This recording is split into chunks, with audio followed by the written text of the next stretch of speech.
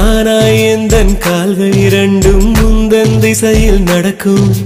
தூரம் நேரம் காலம் எல்லாம் சுருங்கிடுமே. இந்த காதல் வந்துவிட்டால்